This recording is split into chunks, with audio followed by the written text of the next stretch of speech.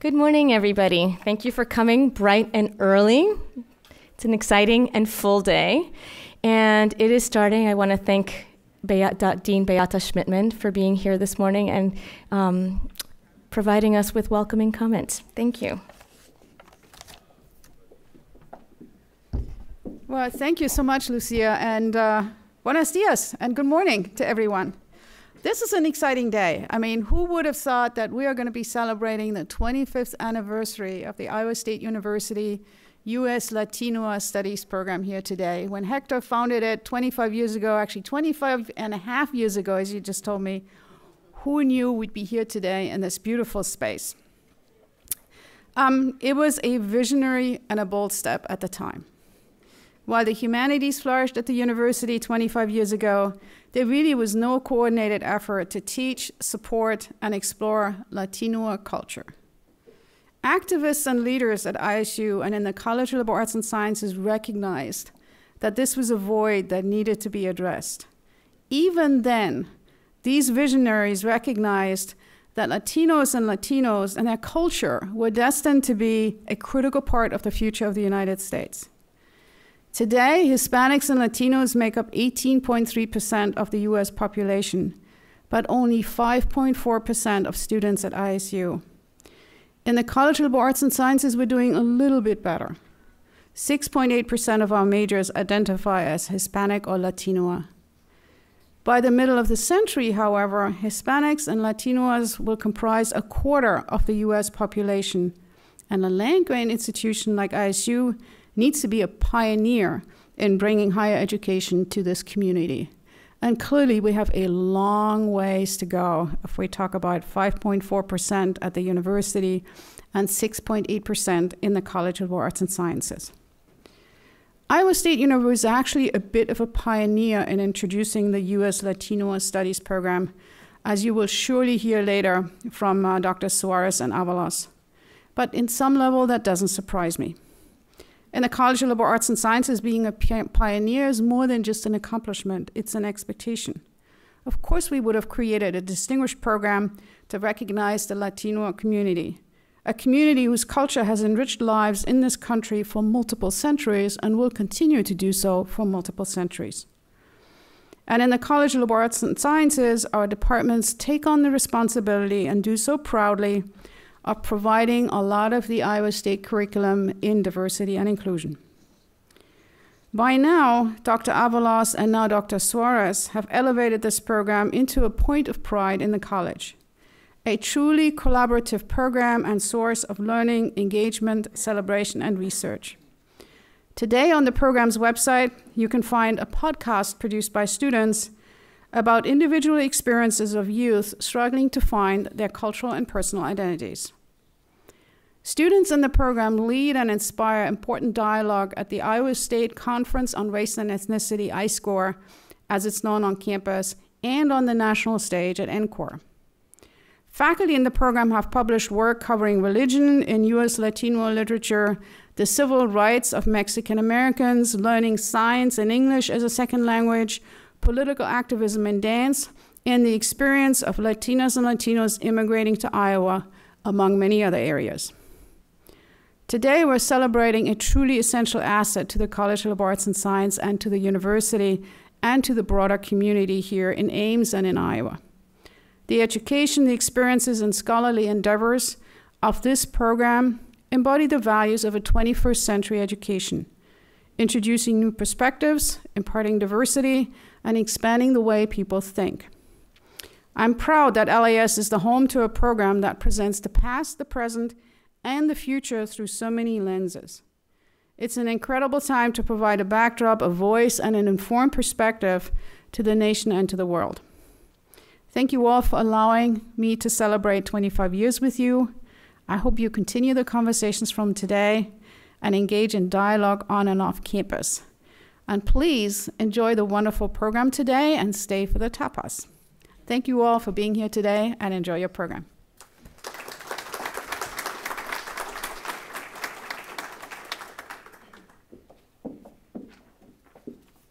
Thank you very much. A program like this cannot exist without the enthusiastic support of the administration, so thank you. I will take a couple of minutes to uh, welcome a little bit more officially. So let's um, welcome to the U.S. Latino Studies Program 25 year anniversary celebration. I arrived on this campus in 2017 with the express task of revitalizing the program. What that meant exactly was not clear to me at the time. I knew, however, that the first step was to find out what was already in place on campus. Who was working on the issues, classes involved, and what was our student body? What did our student body need? I was fortunate that Dr. Avalo, Hector Avalos, the founding director in 1994, met with me and provided distinctive background information. He shared his experiences, his observations, and continued enthusiasm for U.S. Latino studies at ISU. He has ever since been very generous with his support and presence, and I remain always grateful. In the last four years, faculty have joined the campus community, and I see some of our new faculty here. Welcome. And bringing with them contagious energy and new pedagogies. Thank you, right? I feel honored to direct, to direct this program, built by an amazing campus with truly dedicated faculty, curious students, and a very generous staff.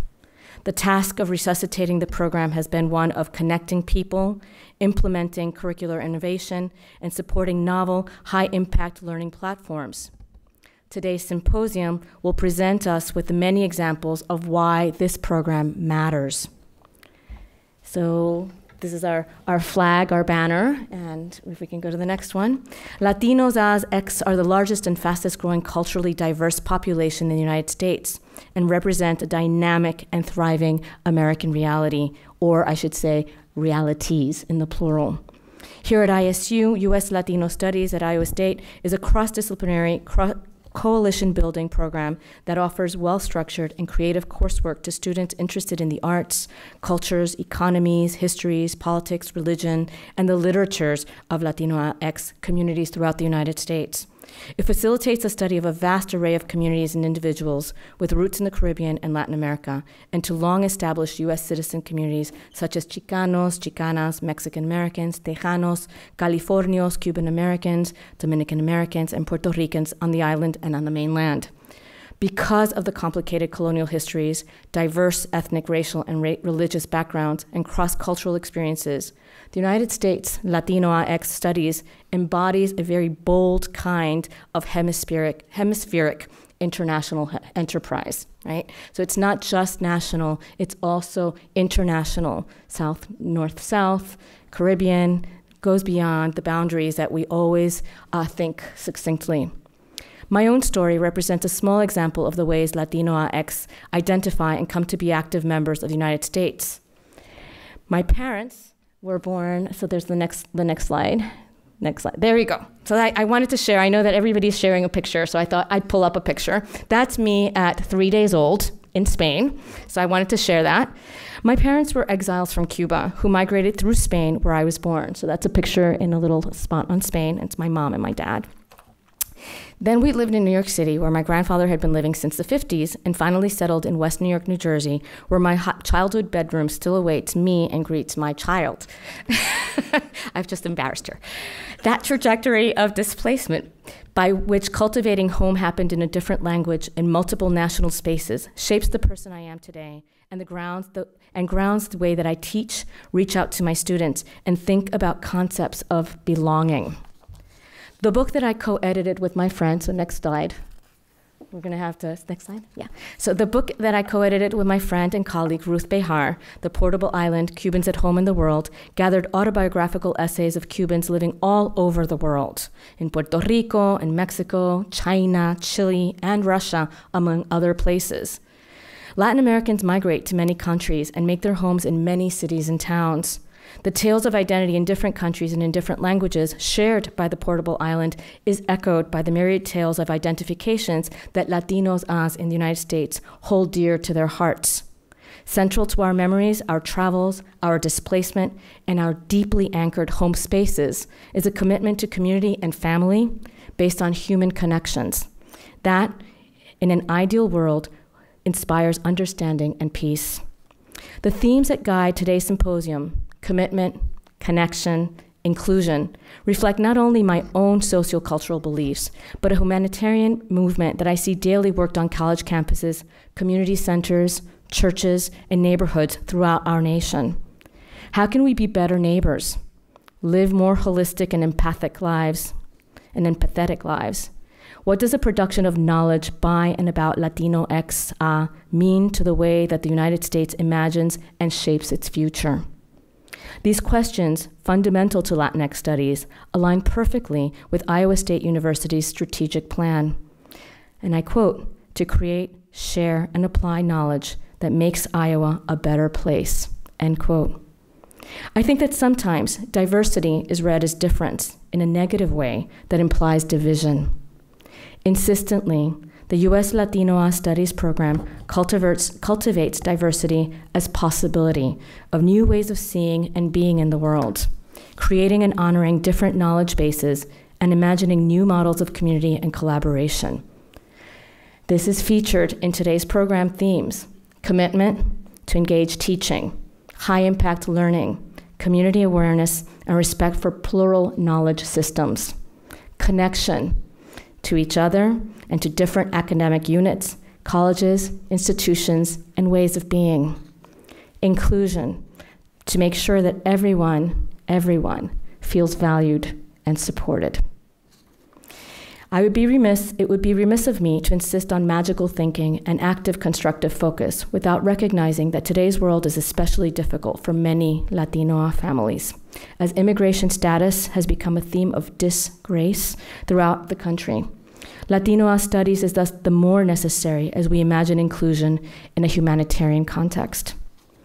Today represents a special time to acknowledge the importance of Latinx communities on our campus, in our state, and across the country with marvelous presentations by faculty, staff, students, and guest speakers, we will have the opportunity to reflect on why Latinx programming, classes, and community engagement matter today more than ever.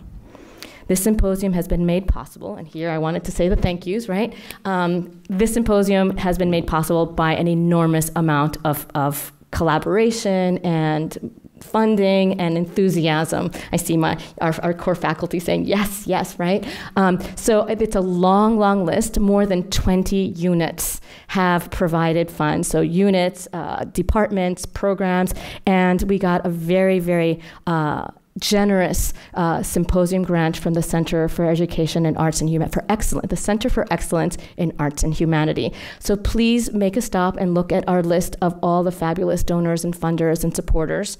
Um, and without further ado, let's give us a very warm welcome to Dr. Hector Avalos, our founding director.